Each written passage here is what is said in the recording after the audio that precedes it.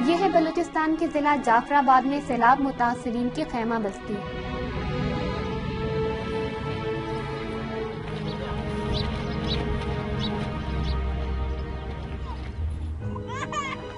और ये यहाँ जन्म लेने वाला मासूम बच्चा, जो शदीद गर्मी में प्यास से बिलख रहा है।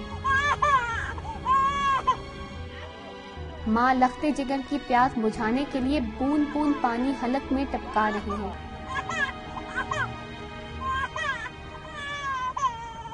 लेकिन इस शीर ख्वार को सुकून नहीं आ रहा। सुकून आए भी तो कैसे?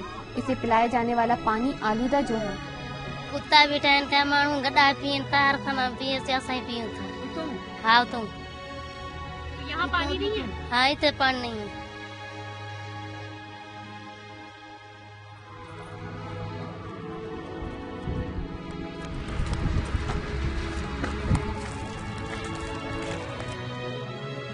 ये पानी करीबी तालाब से लाया गया है, जहाँ जानवर और इंसान एक साथ पानी पीते हैं।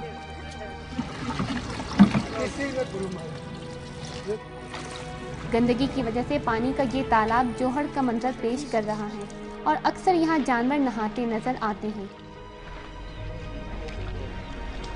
खातन पानी की सतह पर जमा काई को लाख हटाने की कोशिश करें, लेकिन इस तरह पानी कहाँ साफ़ होता है? मजबूरी ये है कि इनके पास कोई और रास्ता भी नहीं। वो करें भी तो क्या?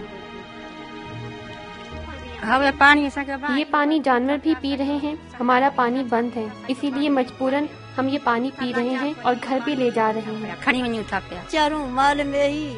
हम पानी खरीद नहीं सकते इसीलिए ये गंदा पानी पी रहे हैं। इससे हमारे बच्चे भी बीमार हो गए हैं। ना ही पानी गरीब खा रहे सैलाब गर्मी, भूख और प्यास की मारी इन खातन ने मुश्किल से समझौता कर लिया है।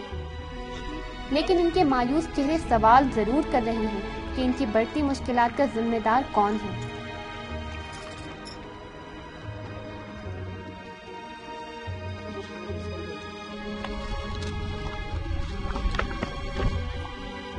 सैलाब के बाद उछड़े हुए मुतासरीन को इमदाद का इंतज़ार करते करते एक साल गुजर गया। लेकिन मुश्किल कम होने के बजाय नौबत यहाँ तक आप पहुँची है की आज वो जानवरों के साथ पानी पीने आरोप मजबूर है। ये इंसानियत के अलम बर्दारों के लिए लम्हा फिक्रिया है।